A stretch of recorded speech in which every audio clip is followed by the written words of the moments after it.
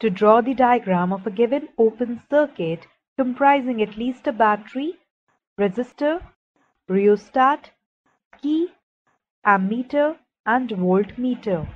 Mark the components that are not connected in proper order and correct the circuit and also the circuit diagram. An electric circuit is a conducting path consisting of electric components between the two terminals of a cell or a battery. An electric circuit is said to be an open circuit when no current is drawn from it. If current is drawn from the cell or battery in the circuit, then the circuit is called closed. Madam, can you show us a circuit with components? Sure. Diagram is as follows. Let's do an experiment to draw the diagram of a given open circuit comprising at least a battery, resistor, rheostat, key, ammeter and voltmeter. Mark the components that are not connected in proper order and correct the circuit and also the circuit diagram. Our aim here is to draw the diagram of a given open circuit comprising at least a battery, resistor, rheostat, key, ammeter and voltmeter.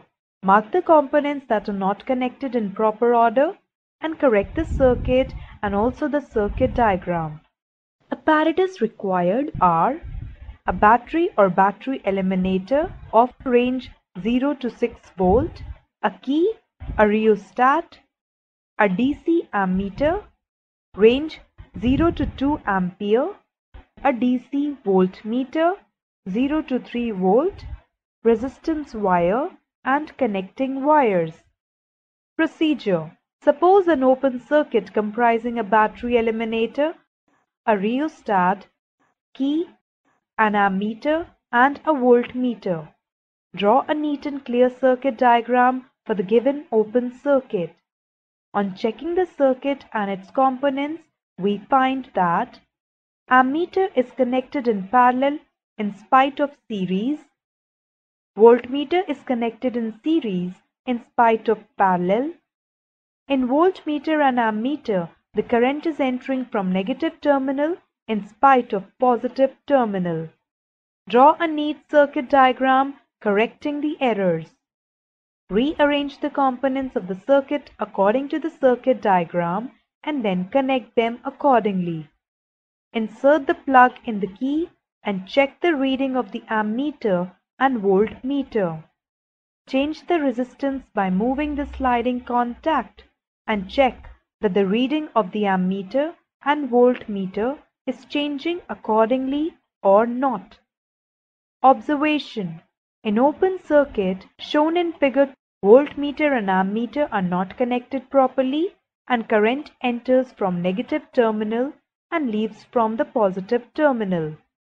When voltmeter and ammeter are connected properly in circuit shown in figure both shows proper reading and changing their readings in accordance with the change in resistance by the rheostat. Result In circuit diagram the ammeter and the voltmeter are not connected properly. In circuit diagram the ammeter and the voltmeter are connected properly. Precautions The insulation from the ends of the connecting wires should be removed by sandpaper. All connections should be neat and tight Ammeter should be connected in series with the battery and current should enter from its positive terminal and leave from its negative terminal. Voltmeter should be connected in parallel to the points across which the potential has to be measured. Rheostat is used here as a variable resistor, therefore its sliding terminal and one of its base terminal should be used in the circuit. Sources of error Ammeter and voltmeter may not be connected properly, the current may not enter from positive terminals and leave from negative terminals of the meters. Rheostat may not be connected properly. Thank you, ma'am, for this knowledgeable experiment.